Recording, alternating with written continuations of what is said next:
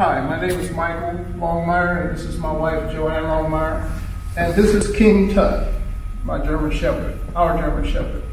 And uh, we had a need to bring him over to uh, bulletproof dog training for canines, and uh, it's an astounding uh, experience because King at six months was just wow.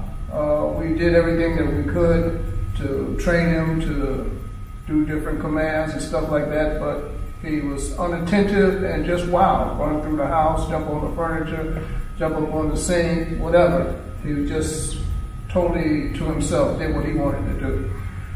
Which brought us over here to Bulletproof. I did some little searching and stuff like that. I was impressed with uh, the information that information that they had online, and so we brought him over here, and uh, we met with the gentleman Christian, uh, a trainer many years, and um, I really didn't believe he could do anything with King.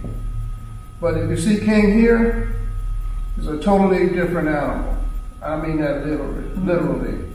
Uh, he's a beautiful animal now. I'm proud to have him. Uh, he heels, stays, sits, you name it. Now he has all the commands, and uh, they use a technique that's uh, not cruel or anything, uh, but do it with training.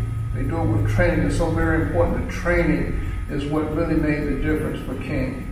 And um, I just really appreciate him. And if you have a, a, a, animal, a dog that you really want to take to the next level, uh, I strongly suggest Bulletproof uh, in the care of Christian. And um, I'm really proud of my dog now. And I think my wife is too. What do you Definitely. think? Big change.